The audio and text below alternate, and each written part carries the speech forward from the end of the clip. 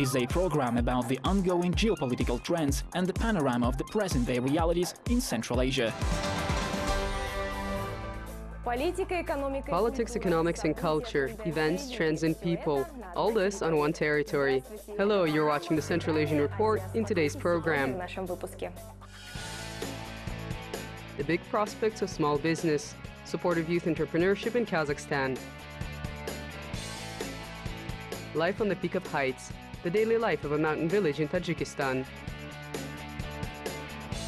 Exhibition of designer clothing, the fashion trends of Central Asia. And coming right up, the Central Asian news. A fund for social medical insurance to be established in Kazakhstan. Introduction of mandatory social medical insurance in the country will allow to ensure shared responsibility of the government, employers and citizens for their health. In addition, the government expects that as a result of these new measures, the quality and access of medical services will improve. The system will be based on mandatory insurance payments made by the state, working population, employers and self-employed persons. Insurance payments of working individuals will be set at 2% of their income. Administrative structures will see cutbacks in Turkmenistan. This is being done with the aim of improving the management of various sectors of the economy and to optimize public expenditures. According to the country's president, at the moment the human resource base in administrative structures is unjustifiably expanding. This negatively affects the effectiveness of public management.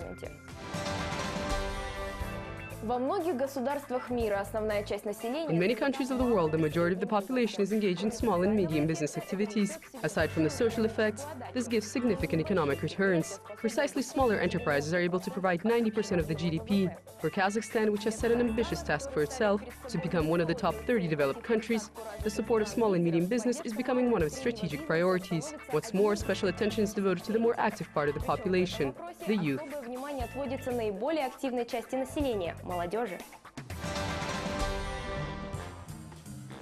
An Almaty resident, Bahadur Anarmetov, despite his young years, already has his own business. Last year, the young man participated in the state program Business Roadmap 2020. Within the framework of this program, he received a loan of 17 million tenge. By using these funds, Bahadur opened a dry cleaning business that uses a unique environmentally friendly technology. I found out that dry cleaning is part of a priority zone of economy and that the Damu Fund provides support in the form of a grant and subsidized loans. I applied to the fund and also a bank. I was approved for the loan and thanks to the help of the Damu Fund, I opened up a dry cleaning shop, Eco Dry in Almaty.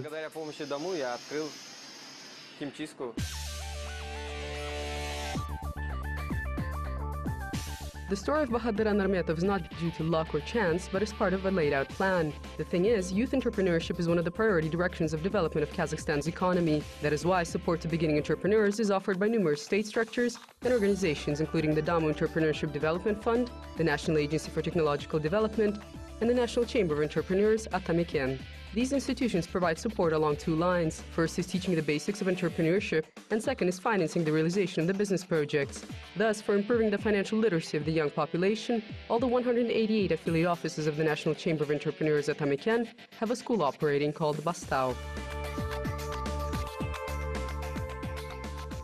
Если, допустим, вы хотите заняться предпринимательством, но не знаете как, вы можете прийти в эту школу, if you want to engage in entrepreneurship but do not know how, you can come to the school and learn. First, the theoretical background. You'll be taught how to make a business plan. Then some entrepreneurs that already have experience. For example, if you want to build a greenhouse, then experienced entrepreneurs will tell and show you how to do that.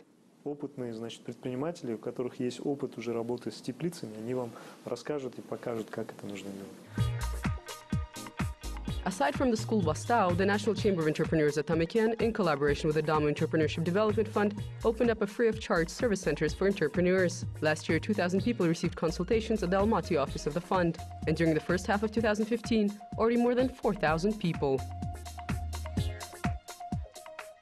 Here you can see for yourself how the consultation process of entrepreneurs takes place for young beginning enterprises and already active ones. Here entrepreneurs can get consultations on tax issues and legal issues.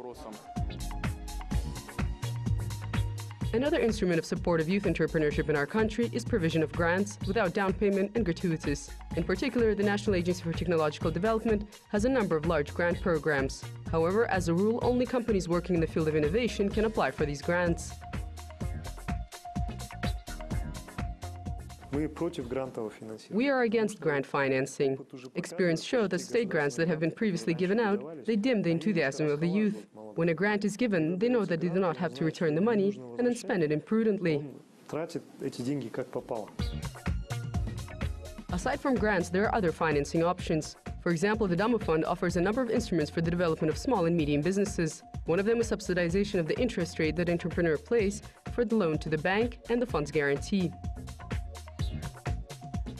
У молодых предпринимателей не всегда а, присутствует а, какой-либо залог или недвижимость, которая может э, 100% обеспечить Young entrepreneurs do not always have collateral as security or property that can guarantee a loan applied for at a bank to 100%. Therefore, there is the guarantee of the Damo Fund, where we can provide a security guarantee up to 85% of the loan amount. до 85% от суммы кредита можем предоставить а, гарантию в пользу банка.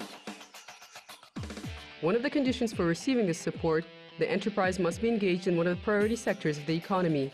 These include machine building, logistics services, education, and a number of others. And this is just a small part of what the government offers for stimulating youth entrepreneurship in the country. Considering such substantial support, Bahadur Anarmetov is not worried about the fate of his business. Already in the near future, he's planning to launch a whole network of dry cleaning shops across Almaty. These people rarely become the heroes of the news. Newspapers do not write about them. They are neither politicians nor show business stars. These are just people from the depth of the country, but the grey daily bustle of their life at times expresses more eloquently what one won't see in the news or read in the newspapers. The joys and difficulties of the residents of a mountain village. This is the next story of our correspondent from Tajikistan. The way from Dushanbe to Yagnova is more of an adventure back into the past. Local residents live right on the peaks of the mountains, at the altitude of 2 to 3,000 meters. There are no means for communication here, no schools, hospitals, or paved roads. We're happy here and do not wish to move. We live the way our ancestors did. The majority of the residents of Yaknobo are the direct descendants of the residents of the ancient Sogdia. According to historians, it is precisely here that at some point in time, the residents of Sogdia hid from the invasions of the foreigners, the troops of Alexander Makedonsky and the hordes of Chinggis Khan. Early morning, the time when just as the sun rises, life is already bustling. The men take the herds of animals to the mountain hills, women bake flatbreads and milk the cows. Out of this milk, butter is made, manually, just like in the old times. My mother, grandmother, and great grandmother made butter this way. I whip up the milk like this for half an hour and then scoop up the butter. From what is left, I make the traditional chaka and kurt.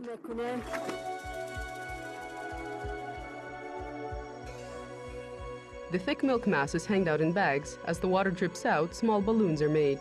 The preparation process takes place on the roof of the house.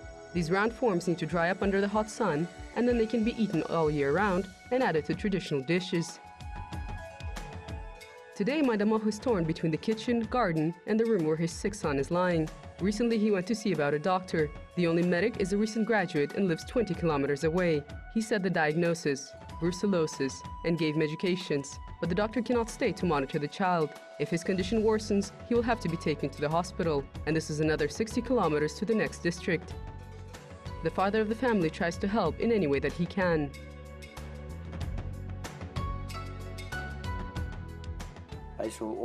To make sure that there's hot water, that the children are kept warm and sick less, I made this type of thermos out of a pipe, and the stove I also made it myself.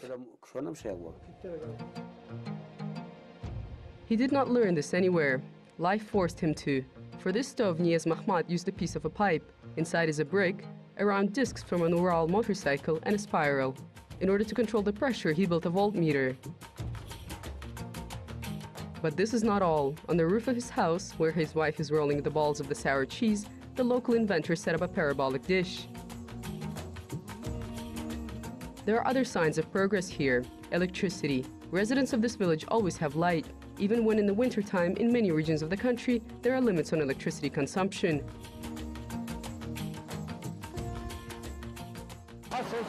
By using materials at hand, we build this hydroelectric power station.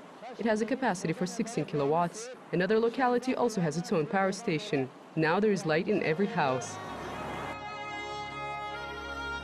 Cars with products come here only once a year. They bring rice, sugar, and salt. The residents of Yagnob do not need more.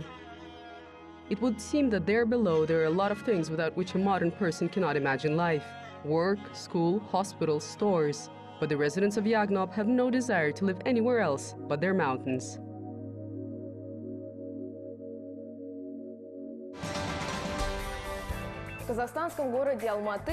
A fashion show titled Central Asian Fashion was held in Kazakhstan in the city of Almaty. This is the largest specialized platform on the Central Asian market of designer clothing.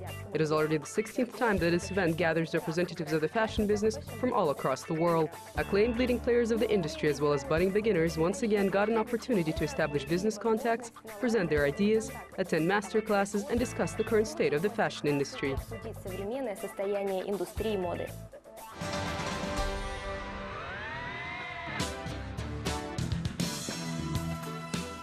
Each year, the International Central Asian Fashion Show is attended by around 6,000 people. Among them are designers, buyers, distributors, and owners working in the fashion business in Central Asia, CIS, and Europe. Every year, the geography and list of participants are expanding. This time, the event gathered more than 200 brands out of 16 countries of the world.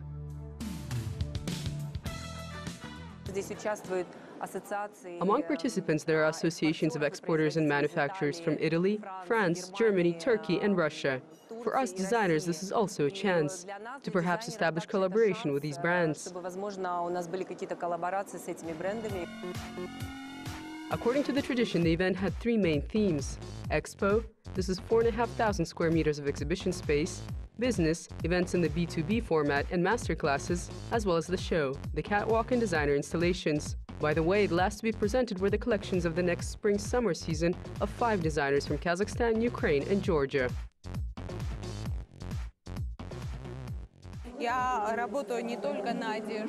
I work not only with clothes, but also shoes and bags.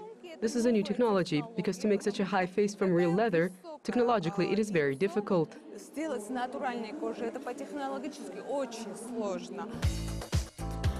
The face of Venus on the bag and the hand on the shoe. These are the innovations that Salome intends to introduce to Central Asian fashion. But a designer from Almaty, Olga Kim, follows the world trends. For her accessories, she uses environmentally clean materials.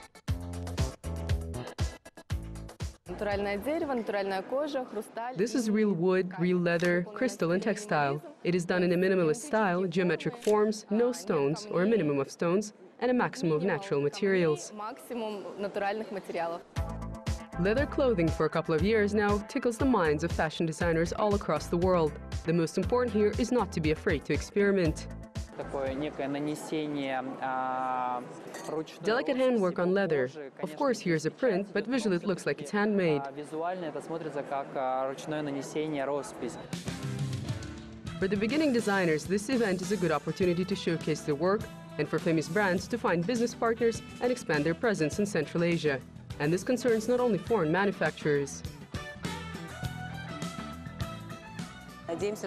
We're hoping that our collections will be chosen and sold not only in Almaty and Astana like right now, but also in other cities of Kazakhstan, of Central Asia, and Azerbaijan. Aside from the commercial aspect, the professional quorum of this event had an excellent platform for discussing the main problems of the fashion industry. The central theme of the business program was the current state of the industry at the background of new economic challenges. During the master classes, experts built up a new tactic of effective sales, offered relevant business solutions. Participants found out about methods of attracting additional consumer traffic, common mistakes of conducting campaigns, the emotional attractiveness of service. How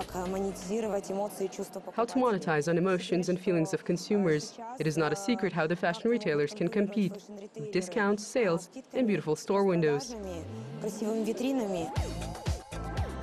The exchange of ideas and business experience gave an opportunity to analyze and determine the main trends and directions of development of the fashion retail sector in Central Asia. And this means that this exhibition accomplished its mission for at least the next six months. Already next spring, its participants will gather again to showcase their new projects and discuss pressing issues.